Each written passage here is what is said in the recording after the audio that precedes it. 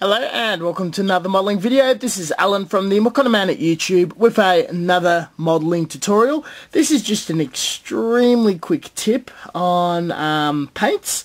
Now you'll notice in your uh, spray cans when you rattle it there's um, a rattle sound. Why they're rattle cans? It's because there's a ball bearing and it cuts through the uh, mix of uh, thinner, pigment, binder, all that and it just helps bring everything together than just um, sloshing everything that's inside and relying on it to mix itself. So the ball's bouncing around and mixing your paint.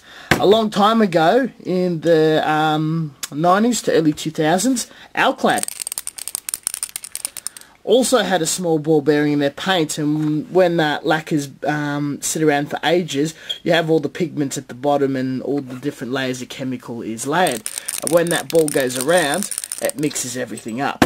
Paints do not have this. So during my last trip to Japan Mr. Hobby has released uh, this G-Tool which is a pack of 50 ball bearings for 400 yen. A little expensive, yes, but I just wanted to buy the packet to show off in a review. It is as uh, simple as uh, popping her open, grabbing a ball bearing,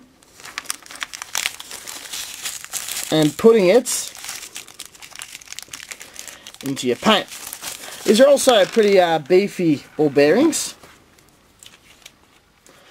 And if we're going to have trouble, if you ever have trouble mixing any type of uh, paint, it is always a primer. They're recyclable, so once your uh, paint has run out, you can just mix it in with uh, the same colour, directly dropping it in, or cleaning it up and putting it into a new bottle. Now, mixing it up, at first the ball bearing had a little trouble travelling around, because everything is at the bottom and you can actually hear the rattling sound and it's mixing up the primer. For primers, I might put two, three in, but for all of my paints, I'll be putting in one ball bearing. So that's a bit of a trip.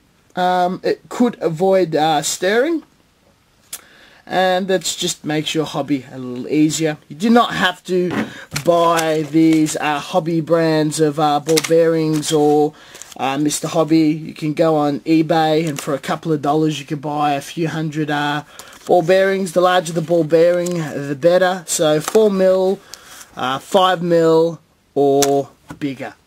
Uh, thank you very much for watching, and as always, until next time, catch you guys later.